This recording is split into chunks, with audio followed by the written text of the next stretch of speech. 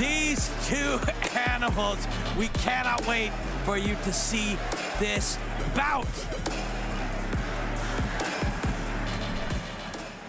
Mi nombre es Marlon González, eh, soy de Perú y estoy aquí para pelear.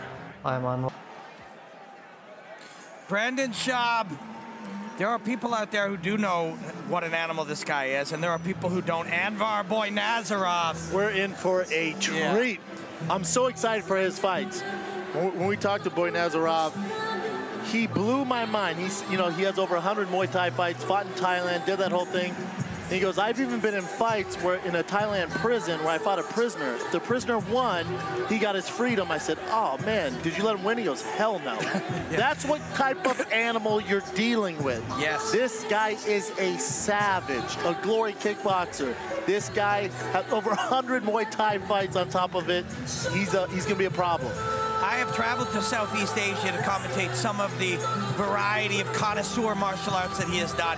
He, yes, he was a participant a couple of times in prison fights, and yes, at home, those of you who are listening who have never been exposed, it is exactly as Mr. Schaub said. The prisoners can fight for their freedom against a professional athlete. Robin, how hard do you think those guys fight? I mean, come on, right? If you win, you get 10 years of your life back. This man would go in the prison to take those fights. and starch them. Yes, and then he traveled over. I had the great gift to commentate an art form called Lethwei. Lethwei is also known as Burmese bare knuckle boxing. It is 800 years old at least, and uh, the it is bare knuckle. Uh, it is the art of nine limbs. You know, Muay Thai is eight limbs: two Yes. hands, two elbows, two feet, and two knees. Were we missing the ninth head? limb is the head. Yes, Wow. the diamond of Lethwei. The uh, headbutt totally legal. So this man fought in prisons, fought in bare knuckle fighting that allows headbutts, and only win by knockout. And uh, this is a well. This exactly who Jorge Masvidal and Dean Toole are looking for here to bring over and expose to people who've never seen. Killers. Straight Yeah. up, Yeah. killers, man. Anvar Boynazarov. This man was born for this. It's like a Sunday afternoon for him. Look at this guy. He's going to the store to get a loaf of bread, a container of milk, and a stick of butter, and then kill somebody. Absolute savage. Bir joyda turishdan charchadingizmi odatiy chegaralardan chiqib hammasini o'zgartirishni xohlaysizmi? Marafon bet saytiga o'tib muvaffaqiyat sari qadam tashlang. Omadingizni sinab ko'ring va g'alaba ta'mini his eting. Marafon bet bilan hayotingizdagi yangi imkoniyatlarni kashf eting. Stavkalaringizni oshirishga va boshqa darajaga o'tishga tayyormisiz? Unda haqiqiy g'oliblar dunyosiga xush kelibsiz. Marafon bet biz bilan o'ynang va g'alaba qozoning Luis Gonzalez. He's out of Miami now, but proudly from South America. Biggest hands I've seen. Yeah, This dude has some meat beaters on him. meat Peters. Whatever you want to call Is that, a, is that a thing? I we think so. even say that on kick. I don't know. Uh, so I don't know if our camera will get a, a view of it, but the, the second knuckle on the swear finger, for lack of another uh, way to put it, it looks like a talon. It's giant and gnarled. this dude has massive hands. His skeleton was made for pummeling other human beings into unconsciousness. And uh, he's a well-traveled martial artist in his own right. Very, very different. He's got the mindset for this. Uh, I asked him, do you know Anvar uh, Boynazarov? He's like, yeah, I hear he fought in Southeast Asia a lot. Okay. yeah. Yep. Okay. He's exactly the kind of guy to Okay. accept a fight like this Yes. and be up for it. My friends at home, I have a feeling if you do not know these two gentlemen, about 16 minutes from now, you're going to be favoriting this as uh, a fight to show all your friends. and you'll be looking forward to the next Boynazarov fight. Yeah. You know, he, this guy is a true talent. Leaps and bounds, experience-wise. Like I said, like I mentioned earlier, over hundred Muay Thai fights on top of all the MMA that this gentleman does. He's a real problem. We asked uh, Gonzalez, you know, and many of these guys, have you ever done bare knuckle? And they're all, well, not legally. All of them, not legally. Of course we have. And, and of course, Gonzalez has, Boynazarov has the professional bare knuckle experience in Southeast Asia in uh, Burmese bare knuckle boxing. But uh, Gonzalez is a handful. He's going to be very hard to interpret for Boynazarov, and he is going to swarm him early. This one's going to be a lot of fun. And I loved it when I asked Boynazarov. I said, uh, "How do your feel, parents feel about you fighting?" He goes, uh, "My dad didn't support it. thought I wouldn't do very well. He goes over to Muay Thai when it was he 20 years old. Yeah. Came up Never- in that system. never trained at- Never at- at trained. 20, yeah. Got thrown into that environment, which you've been to Muay Thai. That I mean, if you've been to Thailand, Muay Thai is the basically the football in America. They Yeah. live, eat, sleep. Muay Thai out there. He just submerged himself in that environment, comes out on top. Um, just a real, real skill. Special treat tonight, to be honest. And Luis fought his way north all the way up to Miami, where he trains at the highest levels now. Uh, this is a beautifully matched fight. Dean Toole, we will mention his name out of love and respect, but also to let you know he is the number one, the very best matchmaker in the world right now. And I mean that including everybody. Agree, and you're, you're going to realize this tonight. Yeah. We're going to talk about the bare knuckle and how different this is, but you're going to we're going to have a lot of conversations about mindset and psychology because shockingly, that's what most of these guys talk to common theme after talking to all these guys. Again, they're veterans. Nobody, you know, it's not their first, second fight. You're talking about seasons vets. So the mindset of what separates these guys. They, everyone has skill. Everyone can punch. Everyone's a black belt in whatever, you know, genre that they want. But the thing that separates them is the mindset. Let's take a look at how their attributes measure up. My friend Paulie Malignaggi says, let's see if any of these attributes become advantages. And when you look at them, aside from experience, similar age, height, reach, you know, a little bit for Gonzalez. Um, but like I said, you know, they are attributes. They're not necessarily advantages. Let's see how it plays out. The MMA record, of course, is a big one at play as well. Christopher James. Ladies and gentlemen, here we go with our next bout of the evening. This one is being brought to you by Demesman and Dover, accident attorney and all-in management, and is set for three five-minute rounds in the featherweight division. When the action starts inside the cage, our referee, Mr. Larry Downs Jr. And now, let's meet our fighters. Introducing to you first, fighting out of the blue corner, standing 5 feet 9 and weighing in 149.2 pounds. Tonight, he comes to the cage with a record of 5 wins and 3 defeats. Fighting out of Las Vegas, Nevada, please welcome Anvar, the Uzbek, Boynazarov.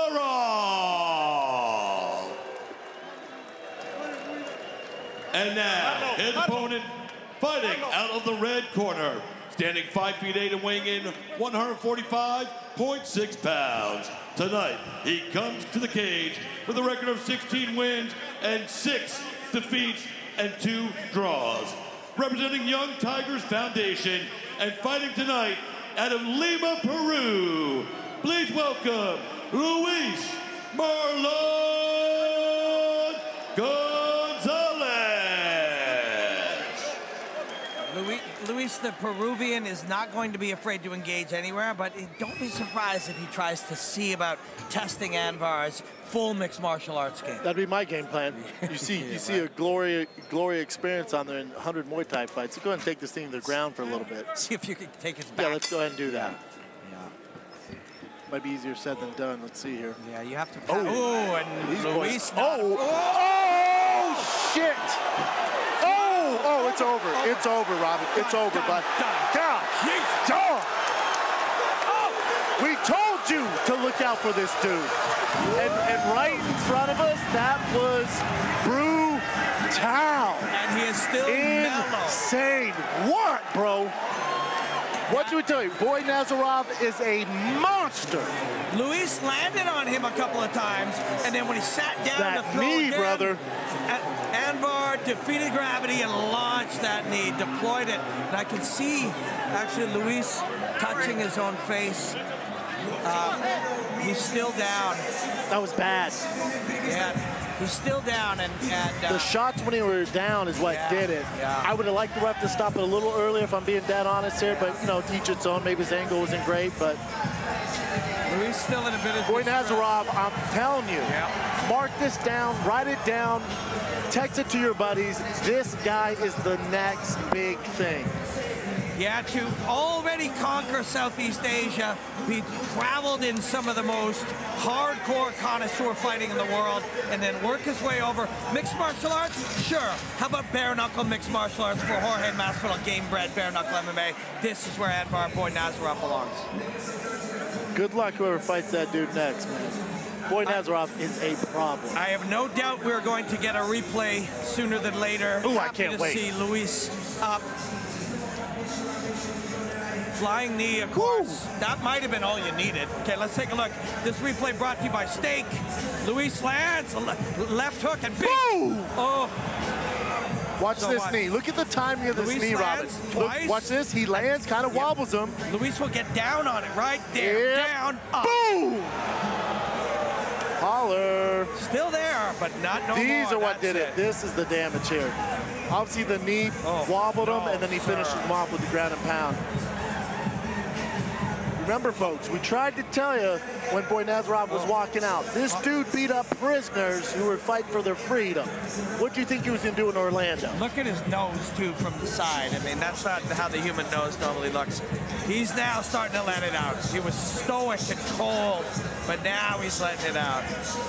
That's a scary dude with a perfectly round head. Yep.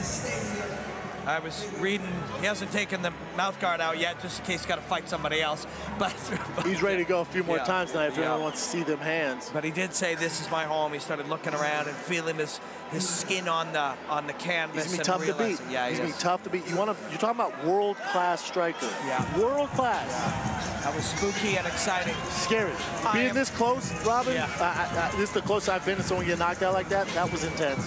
I'll be completely honest We're going to get a couple more looks at that replay, I have no doubt.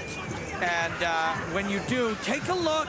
When you see it again, take a look when Luis's feet go, his full weight starts to sink into his feet. And it's at that part, point that Anvar launches himself to deploy. High level knee. read, high level Yeah, read. In the exchange, he gets clipped. Boynazarov gets clipped. He resets. In the timing of the transition, when he's about to engage and throw another heavy combo, That's flying knee yeah. lands it. Yeah. In, uh, world class stuff. Good world to see. Luis Gonzalez up. Let's have Christopher James announce your winner. Ladies and gentlemen, our referee, Larry Downs Jr., steps in and calls a halt to the bout. 13 seconds into round number one for your winner by knockout, Anvar, the Uzbek, Boy Nazarov.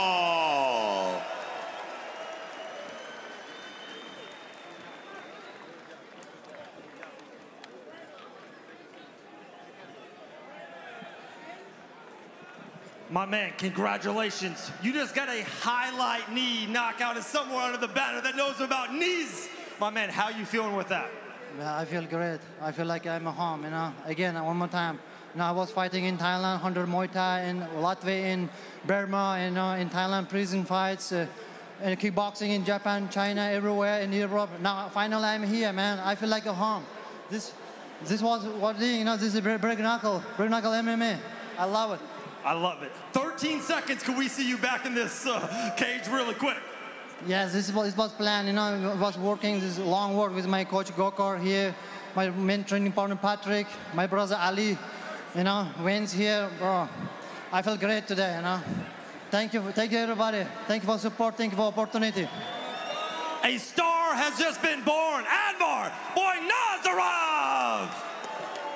Was, it wasn't quite the Jorge flying knee, but it was damn close. It was damn good. Yeah, if I'm at glanced off 145 pounds, Yep. probably gonna lay low for a little bit. Watch, he eats two. Now watch when his man sinks in, it actually glances off the temple, you'll notice. Correct. It wasn't a flush shot on the chin, Right just to the side there. I am going to take that one. It's going to be all over my Instagram uh, tomorrow. A gorgeous piece of display of weaponry and sophistication and raw violence. Boy, this is Gamebred bare knuckle MMA, baby. Touch, touch, and Boink. that replay brought to you by Stake